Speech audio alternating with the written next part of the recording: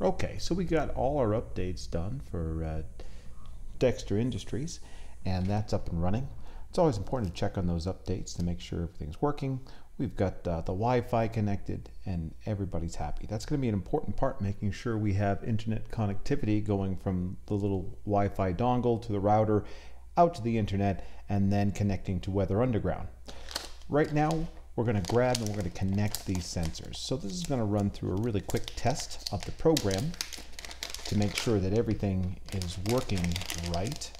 Uh, I use an offline editor um, in that it's not connected to the Pi, it's actually connected to my desktop. It's a little bit easier to work with. Uh, this is the rangefinder. Uh, so the rangefinder, we're going to connect it to uh, D4, and that was the exact same spot that we connected it to on a previous project we worked where we did a uh, lamp proximity sensor. Uh, and then we're going to connect an LED.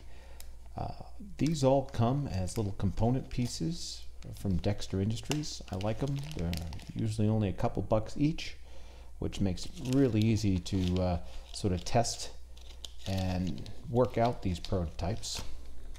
So it's definitely worth uh, worth the money. Uh, little little something about LEDs.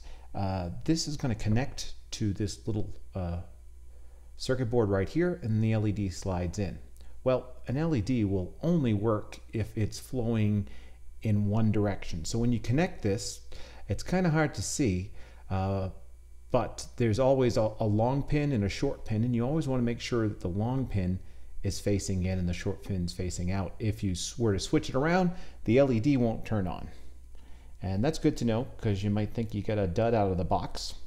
Uh, now the LED, uh, this is going to connect over here and I had said we were going to connect that to uh, D7 which is right here.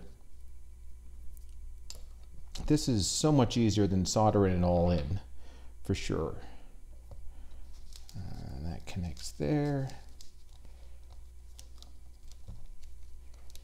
Hmm. There we go. Just trying to keep my wires as neat as possible.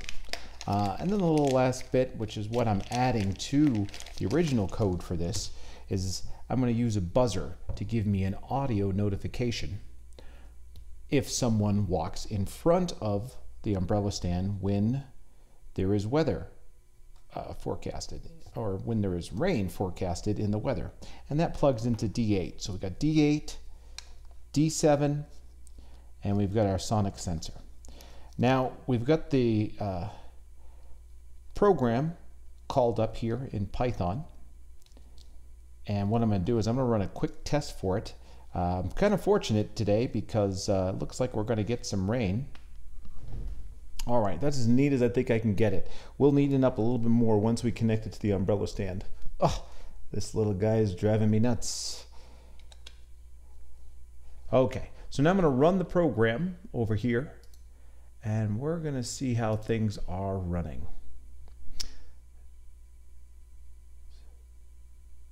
And let's see what it says.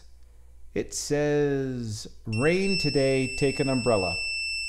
All right, you can hear the sensor going off. I'm gonna just slide out of the way of it right now. So we set that to 60 inches, which is uh, within two feet of the umbrella stand.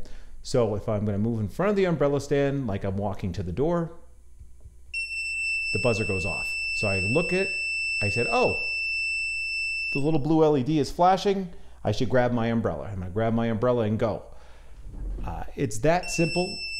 Uh, the only way to really test this, let me let me turn the program off. That's this is the Control C uh, to interrupt the program. So the only way to really test this is if it's raining. And if it's not raining in your neighborhood on that day, then find a zip code within the area that it is. Just go to Weather Underground, take a look at a map of the United States, and if you can find a place that it is raining, just enter that zip code in. That way you can test this out before we go through all of uh, the parts of this to get it connected to the umbrella stand. Right now, this is ready to go. I'm going to get some double-sided tape and we're to make it look all nice and we're going to do a practical test. Uh, right. So